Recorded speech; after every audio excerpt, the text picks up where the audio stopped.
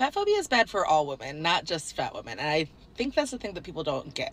Like, yes, obviously it's bad for fat women, but it's also bad for thin women. Even if you're currently winning the whatever beauty standard that we have by subscribing to that you are setting yourself up for failure because now you have put the threat in place that if you if your body changes your value will be lost and you're doing the same thing though like in the reverse direction. If you're sitting here and you're proclaiming body positivity and you're proclaiming fat acceptance you do realize that if you've ever in your life decide to lose weight which i guess is in in impractical is never to happen for these people. It's impractical to even say these people are to lose weight you do realize that you would literally literally be stabbing in the back all of the people that followed you because that you because you made that change right?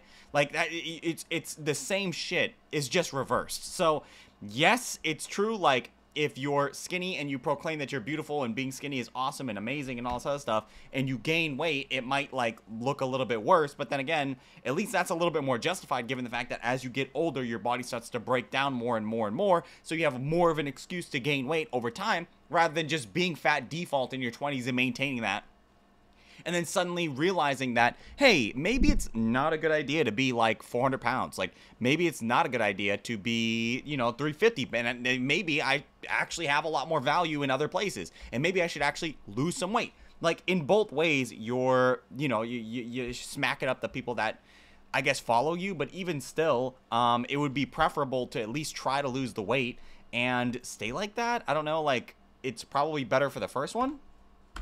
By putting your value and your worth in your body shape and size. There's I see these people say this, right? They say there's you're putting worth in your body size and shape.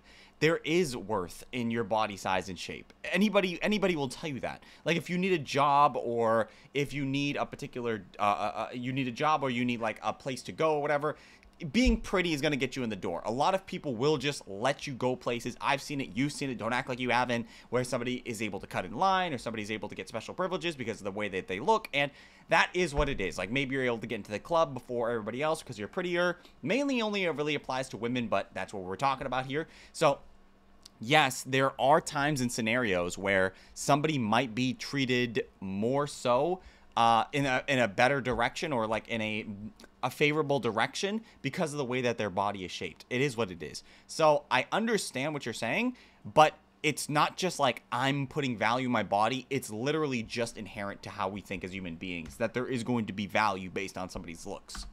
You are setting yourself up for failure. And even if you never fail that it's it's such it's such a bullshit way of thinking about it because it's basically like saying well, if you put value in your body, if you work on yourself, if you make yourself more, if you make yourself more adept to the surroundings, right? Making your body physically uh, better and, and physically more attractive, ultimately you'll just get ugly, which could possibly take 10, 20, 30, 40, 50 years. Uh, you're setting yourself up for failure because when you turn 60 or 70, guess what? You're going to be ugly.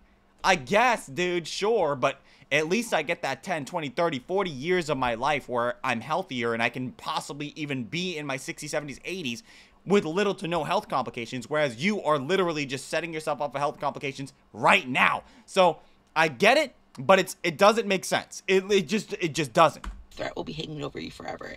Is that really a world you want to live in? Yes. Yes, I would prefer if people were healthy. I I don't know why this is like a very crazy idea that people can be unhealthy in fat bodies, but it is a true statement. If you're fat, you're unhealthy is not good. Is that a world you want for your friends and your family? Is- yes, I want my friends and my family to be thinner. I want them to actually focus on their physical shape and body because guess what? You only have one of those. It would be really, really weird that we wouldn't incentivize people to be uh, physically maintaining the size and shape of their body throughout their entire life. Literally only have one of those. So yes, I want you, yes, I want you to maintain that throughout the entire life. It's like your teeth take care of your teeth because guess what? You only have one pair of those. And yes, you can get like dentures or like people chiseled them down and like they get like uh, the Steve Harvey fucking what are they called the veneers? Like you can get those, but ultimately what I'm saying is like you only have one set of everything, and there might be some like medical intervention that you can get, but why would you want to bank on that given that that most of the time is just gambles already? So yes, I get what you're saying. Like starting from a baseline of fat, it can only get better, but starting from a baseline of healthy, it can only get worse. I get what you're saying, but at least if I'm in a baseline of health already, at least I got that going for me. Whereas you are just literally on the side of being fat, and that's only ever bad. Is that a, world you want for your daughters and your nieces? Like, because men use it as a threat to make women feel bad about themselves. They're like, oh, what if you gain weight? How many times have you heard men use that? Not many times at all, dude. What? Really? Do men use that as an insult or like a way to get under your skin? Oh, you're just gonna gain weight. You're, you're what if you gain weight? I've, I've never heard that. I've never used that in an argument before. Uh, nope, never never seen that. But I could be wrong. Maybe somebody in the comment section could enlighten me or everybody else if this is actually something that is said. But regardless of whether or not it is said or not, so what, dude? Like, you do realize that there is such thing as attraction and that men or in general people are not going to be attracted to other people that are overweight. So there's automatically that there right there. And I understand that maybe you don't think that, but it's true. Like most people are not attracted to fat people. And I know it sucks to say because you're a fat person. So yeah, but no, most people are not attracted to fat people it is so common because it's such a powerful tool. It is a tool of the patriarchy. It's always the patriarchy, dude. Why the patriarchy? So your husband tells you that you're gaining weight, suddenly the patriarchy? What the fuck are you talking about, dude? That doesn't make any sense. I'm sick of these people just blaming these problems on like overarching, giant, grandiose fucking eh, eh, societal structures that may or may not actually exist. Because like if you don't know, patriarchy is basically like men in general, like the men at the top of the hierarchy uh, that are, I guess, putting like, for the most part, the world was made for men. And the reason for that is because for all of time, men did everything. And don't get me wrong, I'm not saying that women did, didn't contribute to society. They did. But we're seeing recently, as time goes on, that women are contributing more and more and more in places that we never thought that were even possible for women. And they're actually replacing way more men, and men are actually failing. And the reason for that is because for the longest time, Men, all they had to do was have a job. That's it. So that's pretty much like default now for everybody, including women. But we're also seeing that women are better in communications. We're seeing that women are better at school. We're seeing women are better in job placements most of the time, depending on the job, right? And physical jobs are becoming less and less demanding. Don't get me wrong, these physical jobs still are there, but we have other jobs now, and jobs that are maybe a little bit more demanding for your brain. Who knows, like mental capacity jobs. So I'm not saying men don't have the articulation to be adequate in these positions, but it turns out that women are pretty good in these positions and they're like dominating schools and they're dominating these work environments. So, in an era where physical work is not as incentivized as it once used to be, and in an era where non physical work is incentivized, we see that women are picking up the slack in ways that men can't or don't. So, we're seeing women doing more and it's awesome. It's great. It's fantastic, right? Men need to step it up a little bit, whether that be through systemic change or whether that be through men just acknowledging whether or not they have to do certain things or uh, build themselves up in better ways. I don't know. There's a plenty of things that men can do um, to make themselves more equipped for society as it is right now. Because like a lot of guys will sit there and tell you that oh, women ain't shit. Women don't got any value. Women are just bitches or whatever. Like they want so much from me. Like, dude, what do you think this woman wants from you, dude? Like, he, she just wants you to make an income. She wants you to know how to like do dishes. She wants you to know how to like you know, not be a sulking bag of rocks where you just don't say anything at all. Like, it, you know, emotional communication. That stuff is really important for most women. And the thing is, she's already got that. Like, she's already making an income. She probably already has her own apartment. She probably knows how to cook and clean since women are like literally readily equipped with that stuff the moment they're born, right? Like that stuff's all taught to them. I don't know why so many parents like don't teach their sons that they need to do the dishes and wash their clothes. That's like really incentive. And that alone, like knowing how to cook, clean, um, take care of yourself is gonna put you far and away better than like most other guys. I know it sound I know it sounds really crazy to say that, but like even those things alone will make you a better candidate compared to like 99% of other men. So there are plenty of things that men can do uh, to enhance themselves to make them better suited for other women around them and that's just one of them. So i mean sure like she can sit there and say it's patriarchy but for the most part women are succeeding in like a lot of ways and if you're sitting here proclaiming patriarchy uh that shit don't hold up bro. It just really don't. Like maybe to some degree you know like you might have like the i think they say like you know chairs and cars or whatever like the seats in cars and the way that we buckle into seatbelts are fundamentally designed for men or whatever like okay you might have that. But like come on dude. We're really stretching really really far in this shit. And i feel like this is the stretchiest that she's ever gone. Because like let's be honest here. That. It is so common because it's such a powerful tool. It is a tool of the patriarchy, and the fact that people don't get that, they're just like, yes, thin is in, skinny queen. You're like, dude, you know how crazy it is to say that the reason why people want to be skinny is because of the patriarchy? Do you know how dis? Do you know how fucking disrespectful that is to say that? Do you think that everything revolves around men? Like, do you honestly believe that?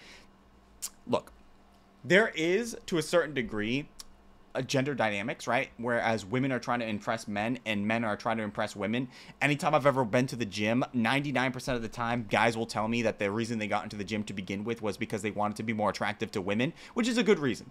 Um, you know, it's fine. It's not always the best reason because it should be for you first and foremost. But usually, as men go to the gym more and more and more, they slowly start to realize that they have more to offer than just what a woman wants. So they go to the gym to better themselves, which is really attractive for most women, right? So, it, would you consider that to be also a part of the patriarchy, like men trying to get women? Is that how it is too, or, it, or just like women going to the gym? Like I guess doing like squats is like for men. Like, do you know? Do you see how crazy that is? So I guess the ultimate objective is if you want to piss off men, or like just never get a boyfriend, or like just per- perpetually be fat and unhealthy, is stay fat. I guess because everything that you do in terms of like getting skinny is going to be contributing to the patriarchy. All right, damn, dude. Fuck, dude. You really just like blew me away with that one, dude. You really have, you really thought about this. I can tell. The patriarchy and the fact that people don't get that. They're just like, yes, thin is in, skinny queen. You're like, Man, if only there was research that studied this. Fat people avoid going to the doctor because they don't want to face the truth.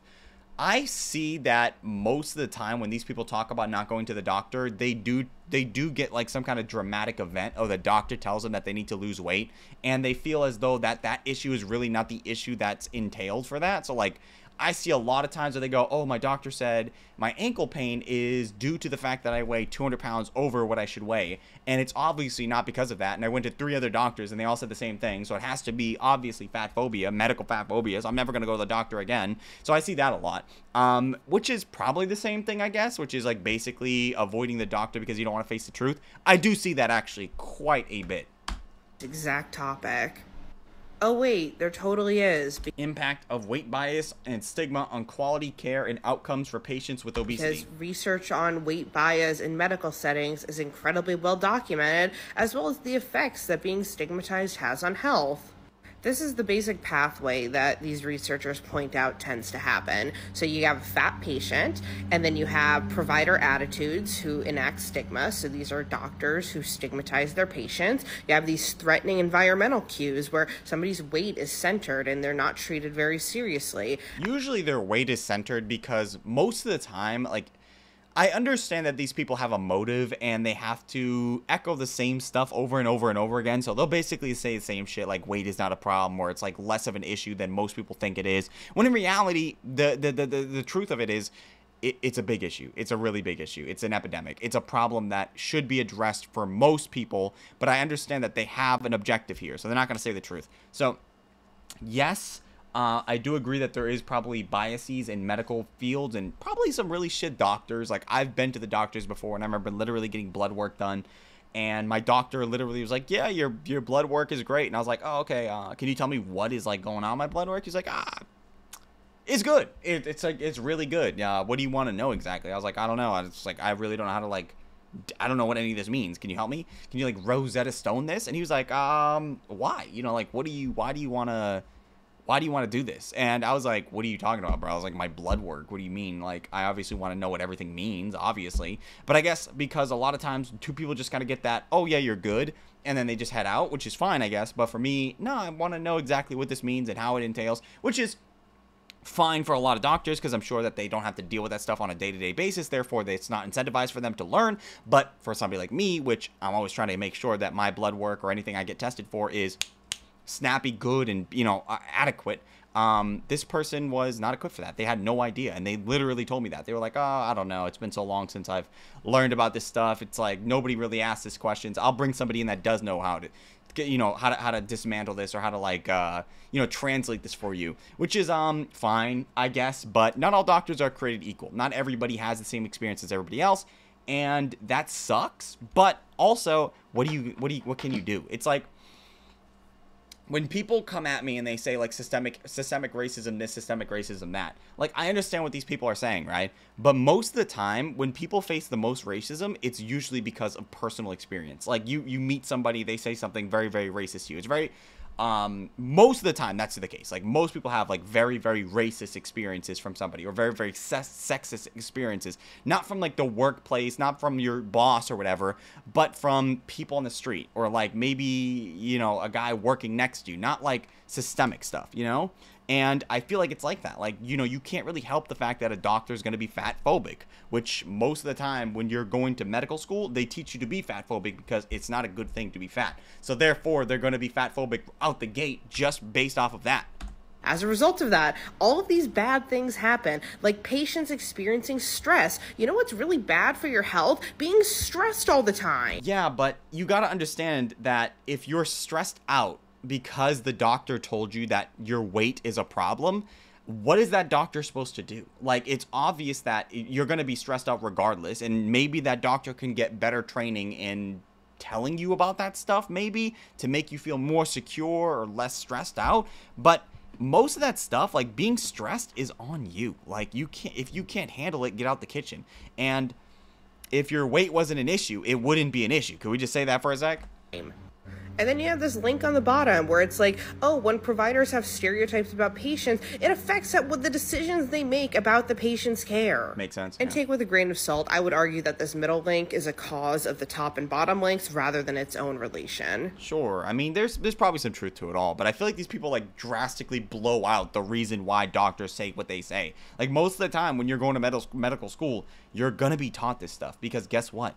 There's truth to it. Being fat is not a good thing. There's little to no value in it. And the fact that we live in a society that literally incentivizes it, that literally tells you it's okay to be fat, is crazy. And these people can like fully live in a full life while being fat. I mean, obviously, it depends on what you mean by full, but you get what I'm saying. Hello, let me do some more education today. You can't even say you're fat because you're not. You're literally just bigger. Nah, Marissa is fat. Marissa is very fat, matter of fact. She is big.